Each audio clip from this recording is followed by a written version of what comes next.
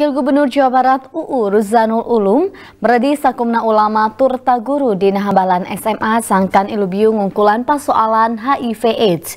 Dina enas-enasna eta halte dilakonan sangkan jumlah kasus HIV AIDS di Jawa Barat bekinyi rorot.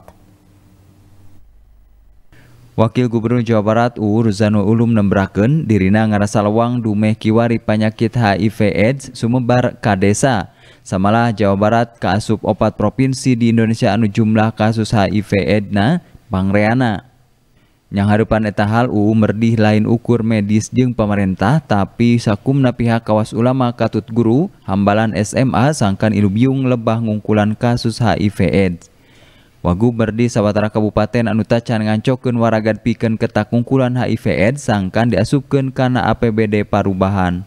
Penyelesaian atau zero di Jawa Barat ini bukan hanya bagi medis dan pemerintah, tetapi harus bergandengan dengan para ulama, para ustadz, para ustadzah, dan para guru tingkat SLB.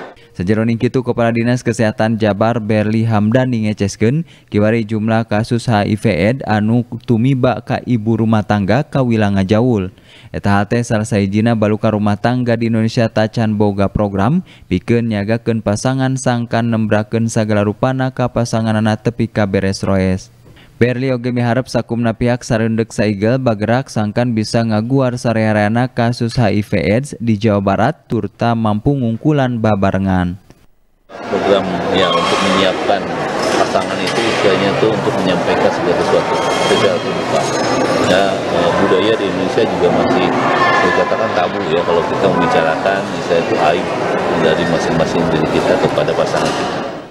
Berdasarkan data Dinas Kesehatan Jabar tepi bulan Desember 2018, jumlah kasus HIV di Jabar ngahonta 78.485, turta 10.370 kasus AIDS.